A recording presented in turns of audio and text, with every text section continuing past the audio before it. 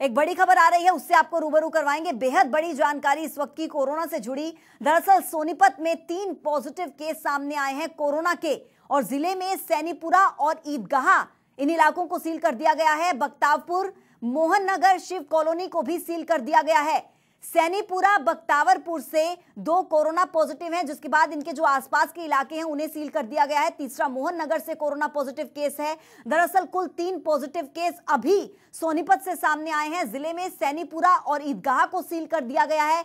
इसी के साथ बख्तावरपुर और मोहन नगर शिव कॉलोनी को भी सील कर दिया गया है। और आपको यह भी बता दें कि दो कोरोना पॉजिटिव केस सैनीपुरा और बख्तावरपुर से हैं, जबकि तीसरा केस मोहन नगर से सामने आया है। और इसी के चलते एहतियात के तौर पर इन तीनों जगह के जो पास, आसपास के जो क्षेत्र हैं, उन्हें पूरी तरीके से उन इलाकों को सील कर दिया गया है। इस वक्त की बेहद बड़ी जानकारी हम आप तक पहुँचा रहे हैं। सोनीपत में तीन कोरोना के पॉजिटिव केस सामने आए हैं और इनमें से बख्तावरपुर का भी एक पेशेंट है जो वहाँ का रहने वाला था। उसमें कोरोना पॉजिटिव की पुष्टि हुई है। कुल तीन पॉजिटिव केस अभी सोनीपत से सामने आए हैं और ज़िले में सैनीपुरा और ईदगाह को सील कर दिया गया है। पूरे तरीके से बख्तावरपुर मोहन नगर और शिव कॉलोनी को भी सील कर दिया गया है। मोहन नगर से भी एक मामला सामने आया है। इसी के साथ सैनीपुरा से भी एक मामला सामने आया है और बख्तावरपुर से भी एक मामला सामने आया है। कुल तीन पॉजिटिव केस सोनीपत से सामने आए हैं, जिसके बाद इन तमाम जगहों के जो आसपास के इलाके हैं, जो बिल्कुल पास इलाके इनके लगते हैं, उन सभी को पूरे तरीके से सील कर दिया गया है। एहतियात के तौर पर यह कदम उठाया गया है। बेहद बड़ी जानकारी इस वक्त की सामने आ रही है। दरअसल, हरियाणा प्रदेश में लगातार कोरोना संक्रमित मरीजों का आंकड़ा बढ़ रहा है, जो कि बेहद चिंताजनक है। ऐसे में अलग अलग जिलों से लगातार मामले सामने आ रहे हैं, जिसके बाद कहीं ना कहीं मुस्तैदी प्रशासन की तरफ़ से भी देखी जा रही है। स्थानीय प्रशासन, सेहत विभाग, पुलिस, प्रशासन मिलकर लगातार काम कर रहा है और लॉकडाउन का लोग पालन करें, इसकी भी पूरे तरीके से कोशिश की जा रही है। लेकिन फिर भी लगातार यह आंकड़ा बढ़ता जा रहा है और अभी ताज़ा मामला सोनीपत से सामने आया है, जहाँ पर तीन पॉजिटिव केस मिले हैं कोरोना के।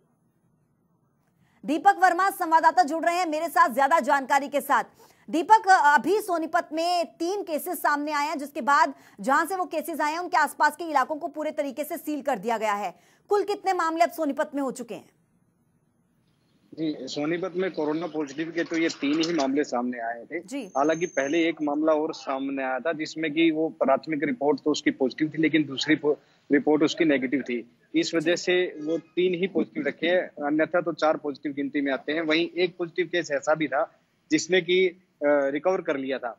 तो इस तरह से अभी तो सोनीपत में तीन ही पॉजिटिव केस रहते हैं जी। जी, जी। दीपक एकदम से एक साथ तीन पॉजिटिव केस सामने आना ये अपने आप में बहुत बड़ी चुनौती है। स्थानीय प्रशासन के लिए भी सेहत विभाग के लिए भी। अब क्या एहतियात के तौर पर तमाम कदम उठाए जा रहे हैं सोनीपत में? जी सोनीपत में जैसे तीन पॉजिटिव केस हैं तो एहतियात के तौर पे प्रशासन पूरी तरह से अलर्ट मोड पे है। हम्म। आप किसी भी तरीके से अगर आप पुलिस महकमे को देखें स्वास्थ्य विभाग को देखें या जिला प्रशासन को देखें सभी अपनी अपनी कामों में पूरी तरह से मुस्तैद है। अभी मैं गीता भवन चौक पर खड़ा हूँ यहाँ पर भी पुलिस कर्मचारी नाकाबंदी कर कर हर जाने आने जाने वाले वाहन से पूछताछ कर रहे हैं जाँच कर रहे हैं। वहीं पर लॉकडाउन की अवहेलना करने वाले लोगों के खिलाफ भी दंडात्मक के साथ साथ अनुशासनात्मक कार्रवाई हर तरह की कार्रवाई की जा रही है। अस्थायी रूप से एक जेल का निर्माण भी किया गया जहाँ पर ऐसे लोगों को रखा भी जा रहा है। हम्म। और इसके अलावा जो। जी। जिन तीन जगहों से ये मामले सामने आए हैं कोरोना पॉजिटिव के उनके आसपास के कितने दायरे में एरियाज़ को सील किया गया है? जी ये लगभग पूरी कॉलोनियों की आप बात करें तो एक मोहन नगर है हम्म। और दूसरा हमारा यहाँ पे सैनीपुरा है और तीसरा बख्तावरपुर है।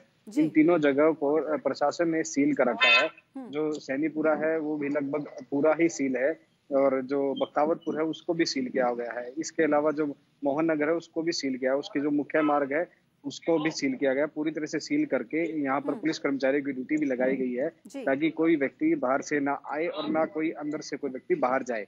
प्रशासन पूरी तरह से वहाँ पर भी मुस्तैदी बरत रहा है। हम्म।